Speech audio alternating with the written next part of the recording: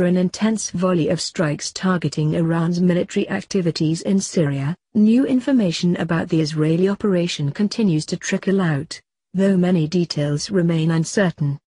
Now, a new rumor has emerged on social media claiming that Israel's F-15I Ra'am multi-role combat aircraft were able to get close to their targets without raising the alarm by using the same transponder codes as U.S. Air Force F-15E Strike Eagles and taking a circuitous route through Jordan and Iraq.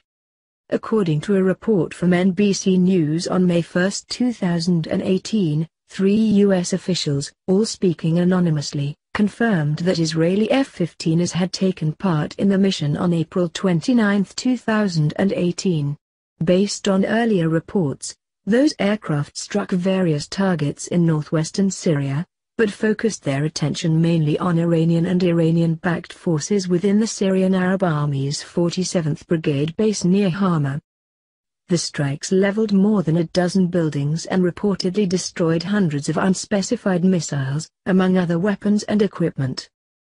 How the jets were able to get to their targets and not prompt any significant response from Syrian air defense forces remains unclear. Unlike what has been the case after numerous previous strikes, the Syrian regime did not claim to have shot down any of the Israeli weapons and there was no footage of surface-to-air missiles speeding toward possible targets. Even more pertinent to this question is that the Israeli aircraft reportedly employed GBU-39B small-diameter bombs in addition to Delilah standoff missiles. The 250-pound class GPS-guided glide bombs have a maximum range of a little more than 60 miles when an aircraft releases them from high altitude. This would have required the F-15I to enter Syria's airspace, at least for some amount of time and the aircraft would likely have appeared on Syrian radars, or Russian ones that are supposedly linked to the government's air defense network, before then.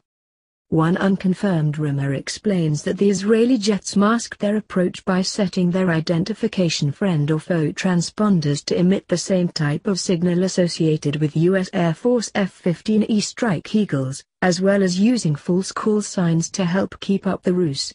These jets routinely conduct operations in eastern Syria in support of American forces and their local partners. The presence of strike eagles would not necessarily have aroused suspicions if they appeared on Syrian or Russian radars while over eastern Syria. Israel's aircraft then supposedly flew through Jordan, Iraq, and into eastern Syria before blitzing toward their targets. The strike package then reportedly refueled over Iraq and then returned to Israel via Jordan. Israel after many attempts to penetrate the Syrian airspace from the west, they're now using the east, which is poorly covered by radars, where they can blend within the coalition jets. It's certainly one possible explanation, but it also raises a number of significant questions. If the aircraft had masked themselves as F-15s flying through Jordan and Iraq, they would almost certainly have had to do so with the active support of the former of those countries and the United States in order to avoid any potential confusion that could have exposed the entire route. American personnel, in particular, are likely on something of a heightened alert for anything out of the ordinary given reports of regular electronic warfare attacks on U.S. manned and unmanned aircraft in eastern Syria. It is not clear that the United States would have been able to convince even Jordan or Iraq to necessarily acquiesce to the plan. Though a staunch ally of the United States and traditional partner of Israel's, Jordan only recently ended a major diplomatic spat with the country over the murder of two Jordanian nationals outside the Israeli embassy in Amman in 2017. It's not at all certain if relations have improved in the interceding weeks to a place where the two might conspire on covert military action. Iraq, which maintains diplomatic and military ties with Russia, Iran, and Syria, seems even less likely to have agreed to such a plan. If they did not consent to the operation, Iraqi officials could easily have decided to pass along any advance warning of the strikes to the Assad regime.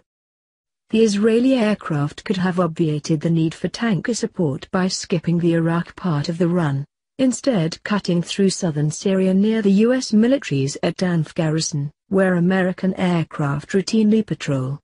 This still would have involved flying through Jordanian airspace.